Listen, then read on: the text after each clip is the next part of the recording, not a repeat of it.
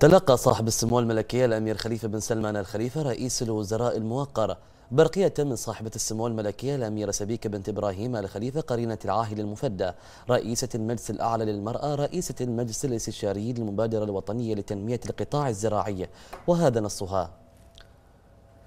صاحب السمو الملكية الأمير خليفة بن سلمان الخليفة حفظكم الله رئيس مجلس الوزراء الموقر تابعنا بكثير من التقدير والامتنان. تصريح سموكم الكريم خلال اجتماع مجلس الوزراء الموقر برئاستكم الكريمة حول أهمية الدور الذي تتولاه المبادرات الوطنية في مجال تنمية القطاع الزراعي الذي نتشرف بمتابعة أعمالها بتكليف سام من لدن سيد صاحب الجلالة عاهل البلاد المفدى حفظه الله.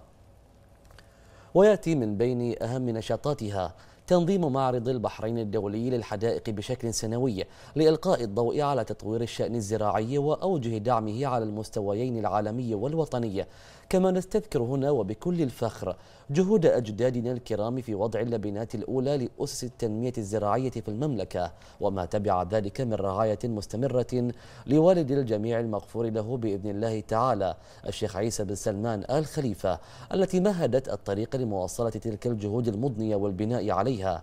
مشيدين بهذا الخصوص بما تولونه سموكم من جهود كبيرة ومتابعة حثيثة لتنمية القطاع الزراعي. وحرصكم على أن تشهد أعماله كل التسهيلات الممكنة. وبما يجعل من التنمية الزراعية بمملكة البحرين مجالا واعدا من مجالات تنمية الاقتصاد الوطني وإحدى محركاته الفاعلة. وفي الختام نكرر شكرنا وتقديرنا لسموكم مؤكدين على حرصنا الدائم على أن تعمل المبادرات الوطنية التنموية في إطار من الشراكة الفاعلة وبما يدعم ويساند تحقيق الرؤية الملكية السامية لقائد مسيرة الخير والرخاء. وتفضل سموكم بفائق التقدير والامتنان.